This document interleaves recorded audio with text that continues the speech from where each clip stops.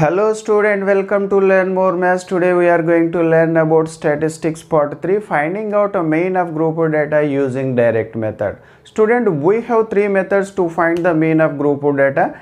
Direct method, assumed mean method, step deviation method.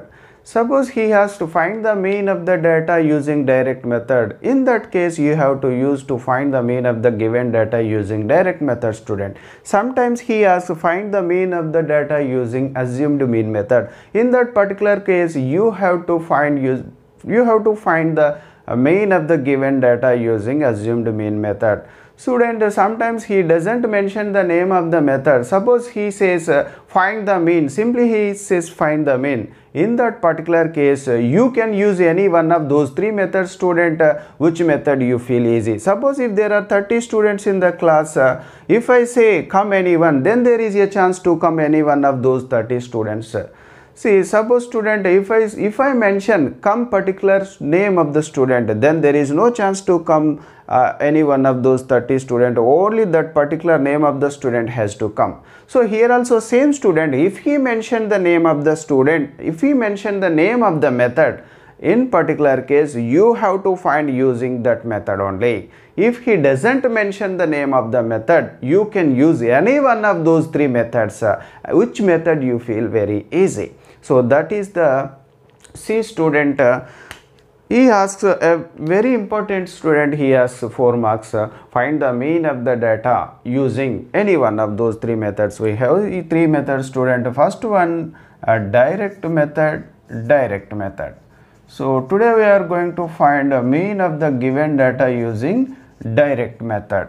So say student, uh, we, we use this formula to find the mean of the group of data in direct method.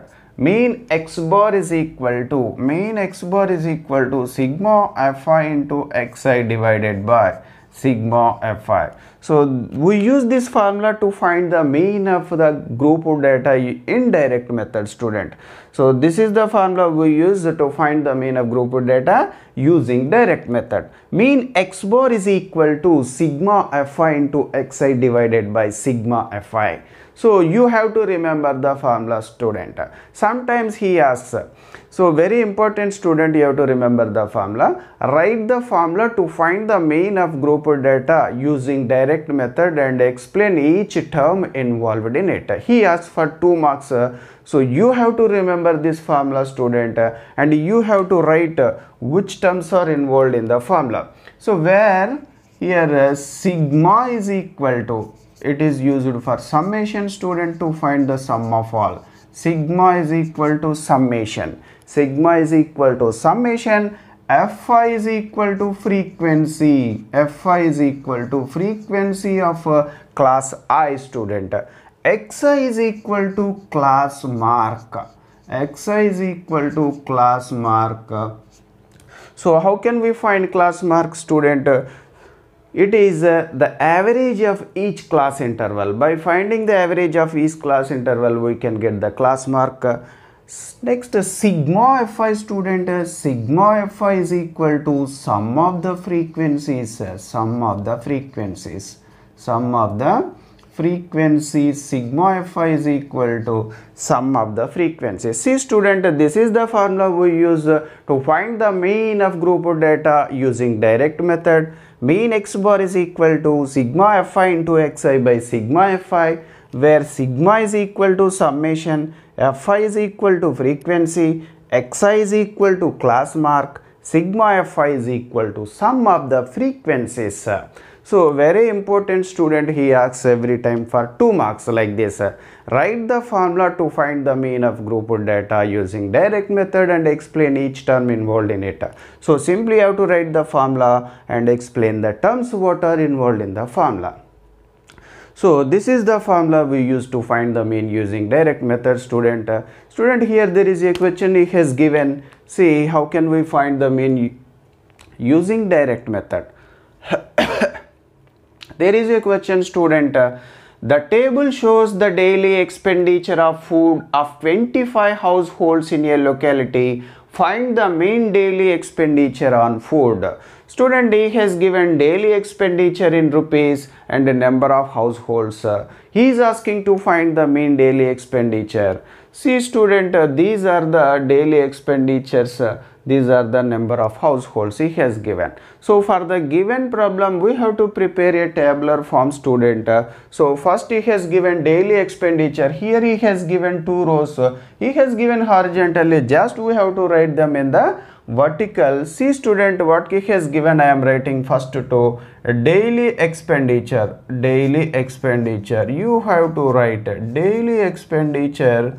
See student this is daily expenditure so daily expenditure in rupees first one is 100 to 150 student 100 to 150 next 150 to 200 150 to 200 next 200 to 250 200 to 250 250 to 300 and the last one is 300 to 350 so these are the daily expenditures he has given student. We have to write here.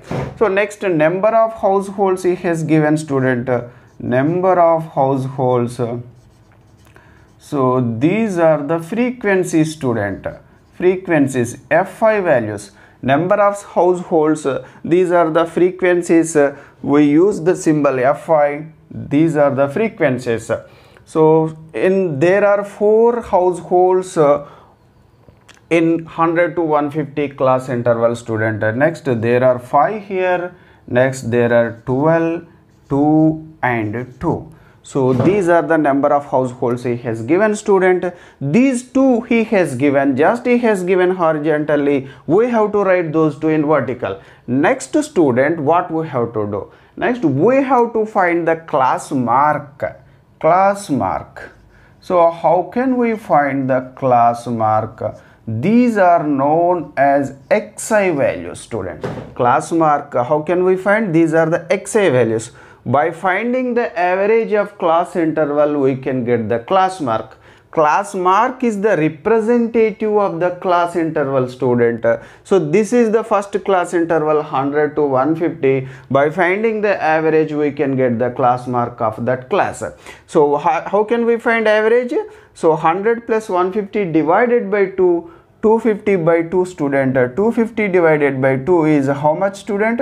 125 so 150 plus 200 it is 350 divided by 2 which is 175 so 200 plus 250 is equal to 450 divided by 2 which is 225 250 plus 300 550 divided by 2 which is 275 300 plus 350 650 divided by 2 which is equal to 325 so these are the class marks student. So he has given two he has given two rows just we have written two rows and next we have found class marks by finding the average of each class interval. So next we have to find these two we have to multiply these two student in the next column find out fi into xi so fi values he has given student.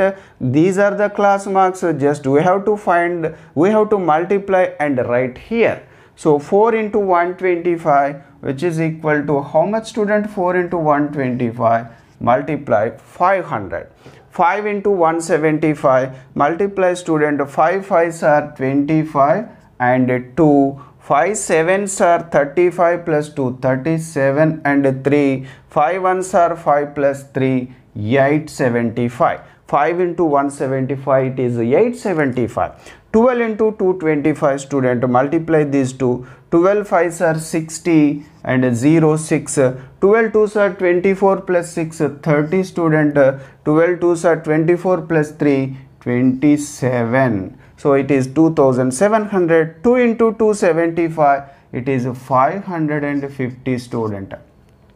2 into 325 it is 650 student. 650 2 into 325 650 so we we have four columns student in direct method. You have to remember the tabular formula student. He has given two rows. We have written vertically.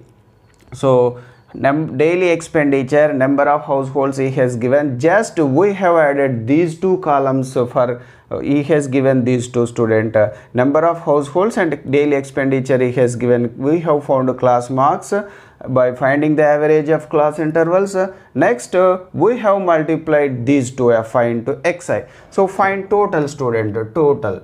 We have to find the total. So sigma fi sigma fi is equal to total number of households he has given student. We can get 25 4 plus 9 uh, sorry 4 plus 5 9 9 plus 12 21 21 plus 2 23 23 plus 2 25 so this is sigma fi student. Next uh, we require sigma fi into xi we have to find the sum of all this. So i am writing here student uh, sigma fi into xi sigma fi into xi is equal to. So this is 5 find the sum student 5 7 plus 5 12 plus 5 17 and I write 7 here one student. 1 plus 6 7 7 plus 5 12 12 plus 7 19 19 plus 8 27 27 plus 5 32 student here. Write 2 next here 3 2 plus 3 is 5 student. Sigma fi into xi is equal to 5275 just we have to substitute in the formula student. So what is the formula to find the mean using direct method student? This is the formula mean x bar is equal to sigma fi into xi by sigma fi. So from the table we have from the table from the table we have we have all the values student. Sigma fi is equal to how much student? Sigma fi is equal to 25 sigma fi into xi is equal to 5275 5275 so from the table we have sigma fi is equal to 25 student sigma fi into xi is equal to 5275 just we have to substitute in the formula student. Therefore mean x bar is equal to mean x bar is equal to sigma fi into xi how much it is? 5275 divided by sigma fi. How much it is? 25 so right here by cancelling with 25 ones and 25 twos are 50 27 is there student. 25 ones are 25 again 2 25 is there student. It is 211 therefore we have to write what he is asking find the mean daily expenditure on food. So this is the mean daily expenditure on food. Therefore we have to write conclusion student. Therefore the mean daily expenditure the mean daily expenditure the mean daily expenditure on food is equal to rupees 211 so find the mean daily expenditure on food. So we have to write the conclusion. Therefore the mean daily expenditure on food is equal to rupees 211 so like this we can find the mean of uh, group of data using direct method. So in direct method we have these four columns. So you have to remember the tabular form student. Then you can find very easily. You have to remember the tabular form and the formula and the terms involved in the formula. So like this we can find the mean using direct method. In next class we can find how can we find using mean of the group of data using assumed method and step deviation method we will learn in the next class. That's all today's class student. To get the latest updates subscribe to my channel. Learn more maths by Vara Kumar Vatnala